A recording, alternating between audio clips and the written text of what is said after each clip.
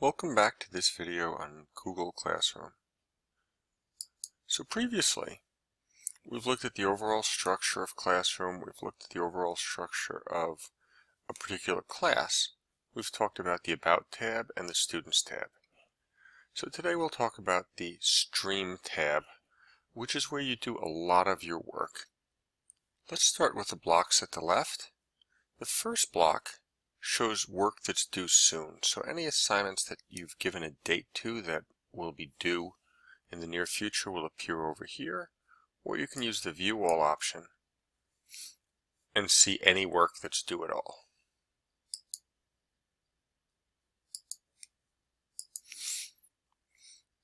Underneath is a stream option to show deleted items.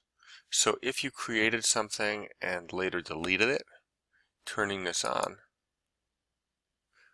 will show you the item that was deleted. And this is something that will be available to any teachers in the class, but not to students. Now the bulk of your work will be done through the plus sign in the lower right corner. Mousing over it shows you you have four options. From bottom to top they are create an announcement. An announcement is simply information you're providing to the student that's not going to be graded.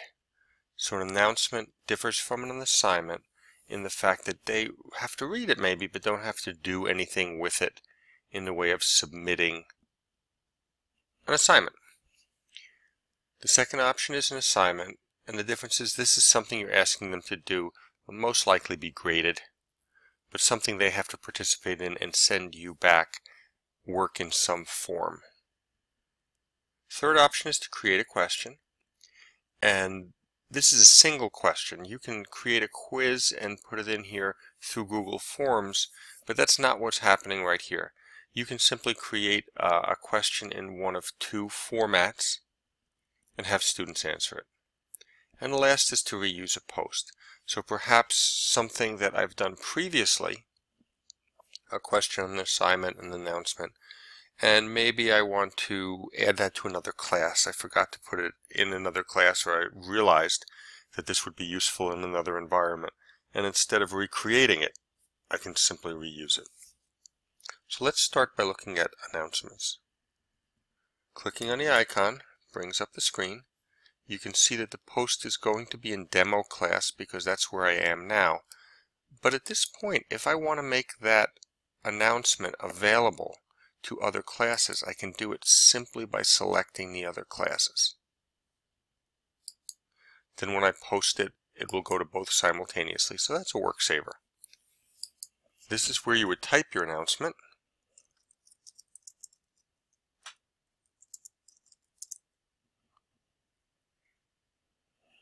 Um, let's just make this in fairly good weather.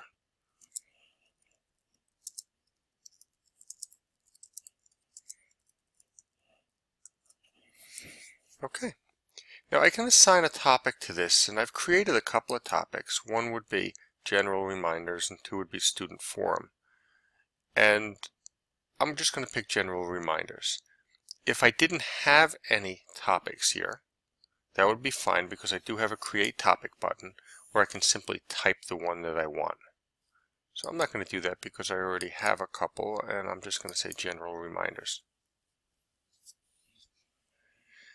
Now Google Classroom is a simple tool. There's a limited number of options available to you, but they're generally very powerful options. And I think that's one of the um, big pluses of Google Classroom is it's very quick and easy to use and yet you can do a lot with it. And the reason is that basically you can post or link to anything you can get on the internet. So you can use the attachments option here simply to upload something to your Google space and then it will become available. Anything you create in Drive is available.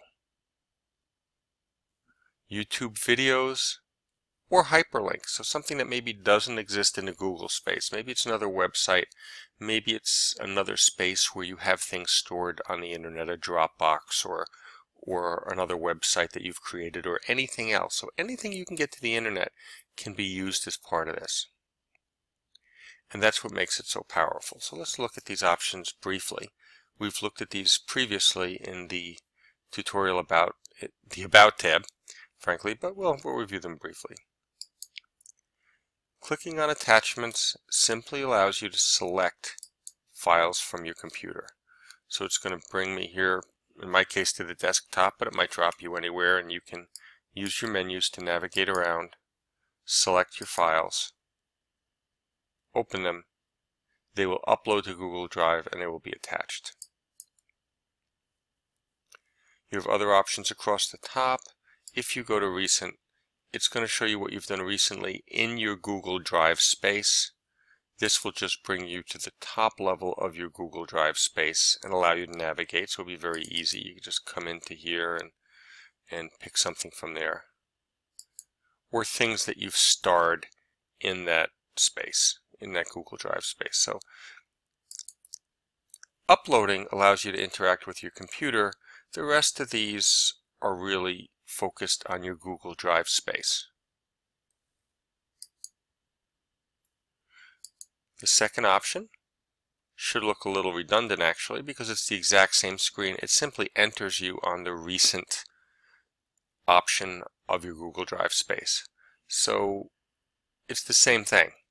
I could even switch back here to upload and now I'm going to get something from my computer. There's a third option, lets you link to a YouTube video and you can search YouTube here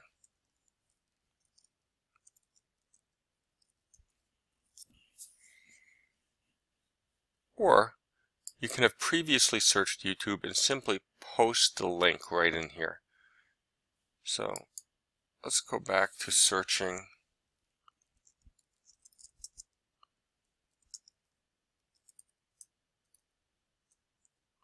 education, technology, inspiration. I don't know if we're going to find anything, but let's see. Robot education through inspiration. If I click on it, It'll give me a chance to preview right here before I select.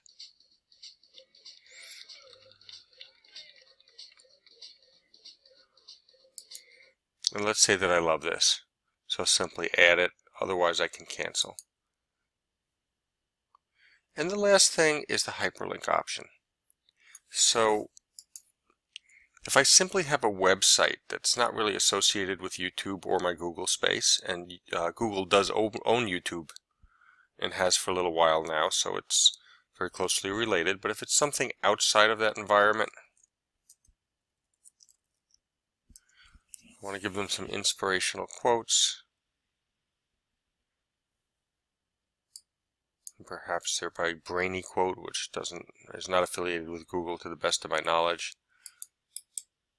I can simply copy that link, come back to links, paste it here. There, now I'm giving them a post, so it's nothing they have to do except read and make note of.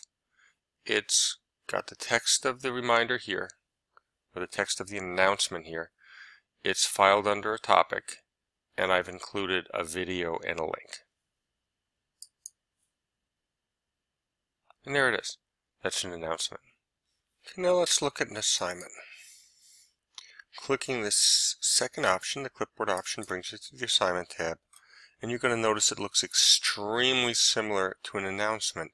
The two differences are that it's got an optional instruction section that you can add more specific information. And it's got a due date. Everything else is exactly the same. You can give it a topic. You can put it in multiple classes at the same time you can attach or link to a series of things through the same options at the bottom. So to save some time, I've pre-filled the form. So I've given it a title of current events. You can see it's now posted to two classes, so I did check a second class in there. I gave them directions telling them that I've attached guiding questions here and that they can find the rubric in the About section And these option, this option over here is very important. This tells me that students can view the file. So that's appropriate here because these are guiding questions and I don't want them to change them. However, if I was giving them something, um, say starter sentences, that I wanted them to continue as part of their assignment, I would change this to make a copy for each student. So these three options are very important. Here students can only view what I've shared with them. Here they can edit, but it's a single file. So that if I send this out, everybody is editing the same file, and this will make a copy for each student at the time that they open it. So when they open the actual assignment, it will create a copy in their Google Drive, and it will be shared with me, and I'll have instant access to it. So I am just going to assign this now. And you can see that it tells me there are six people in my class and none of them have completed the assignment and gives me the other information. Students will see a slightly different view of this. I can also add a class comment down here if I'd like.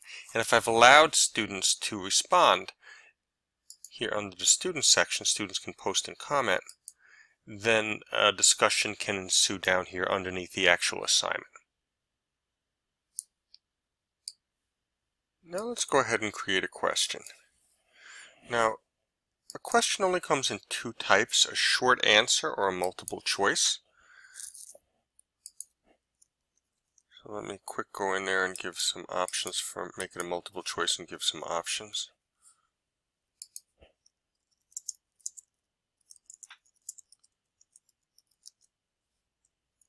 There's an optional place for further instructions. I'm going to choose not to use that. I'm going to put a due date in there. Let's just make it the 30th. I won't bother with a due, uh, due time. This option allows students to see a summary of how other students have responded. If I don't want that, I can shut it off. I'll slide this down. I have my typical options of attaching things if that's appropriate for the question. And I will ask the question.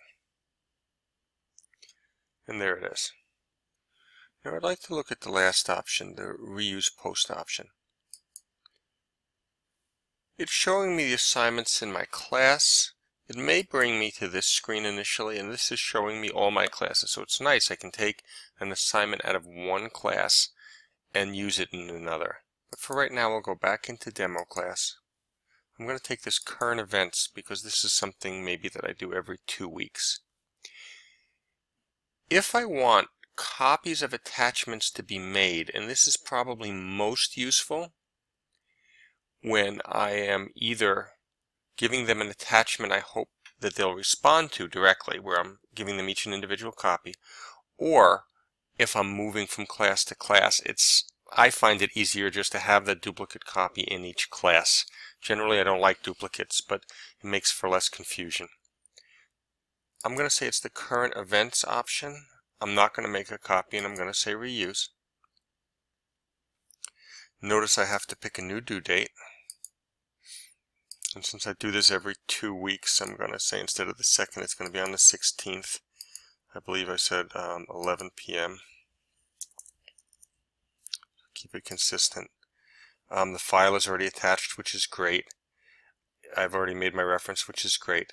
This time, instead of posting it, I'm going to schedule it. So I really don't want this to be live to them. I don't want them to see a year's worth of current event assignments. That might be overwhelming. So since the one was due on the second, I will simply have this one posted on the third at 8 in the morning. Notice that when you do that, I don't get the typical three dot option for making edits. I get an X to delete it, or if I click anywhere on it, I can make my revisions there. And that concludes our coverage of the Student Stream tab and the four types of, of options that you have when working in here. And in our final video, we'll take a look at things from a student view, how it actually works.